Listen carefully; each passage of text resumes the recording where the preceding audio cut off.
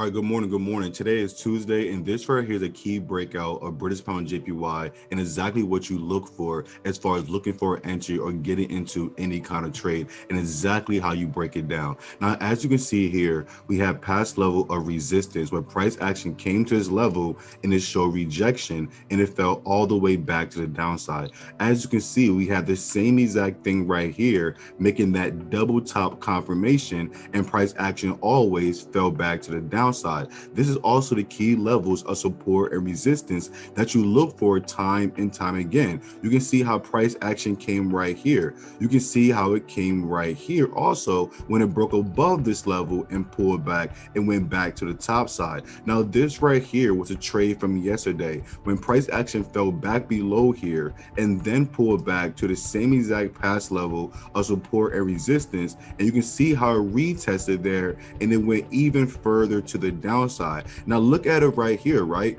We have past level, of support and resistance all the way through, right? We have past level of support and resistance all the way through. Price action fell back below this level. It could pull back here and show rejection in this level the same exact way it did time and time again. Now, these are the setups you're looking for. It don't matter whatever happened. This is how you view the market. You're saying, okay, every time it came here in the past, it always fell down. So if it comes right back here once again and show rejection in this area, I can get in for a sell and price action can fall all the way back to the downside. We will have TP1 and you'll have TP2 right about here. Why? Because these are the past levels of support and resistance. It's always going to be that simple. You're looking for rejection and you're looking for price action to fall even further to the downside. A very, very simple trade right here. Okay, now that is the bear scenario. Like I say time and time again, you'll have the bear scenario as well as the bullish scenario.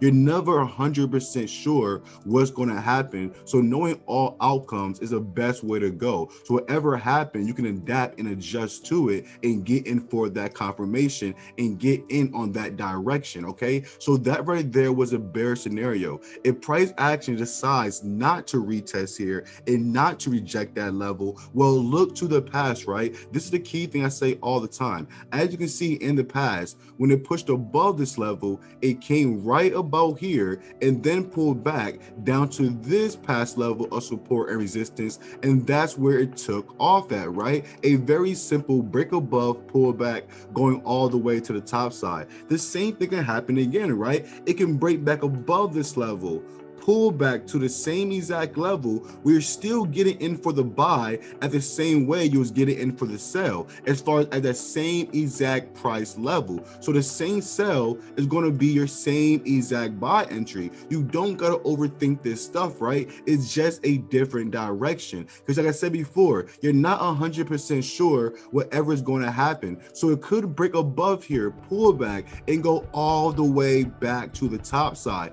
That is a possibility possibility. You just don't know. So you got to know every outcome that could happen. This right here could be that inverted head and shoulder, right? And it pushed all the way back to the top side. But this right here is exactly how you're viewing any kind of setup. You're looking for confirmation, you're looking for that trend, and you're simply getting in and knowing both the outcome as far as the bear scenario and the bullish scenario. And you're always using the correct risk management, right? You're not over leveraging you're not using a big lot size. You're doing things the right way. But this right here is exactly how I'm looking at British Pound JPY for the week. And I'll see you in the next video, guys.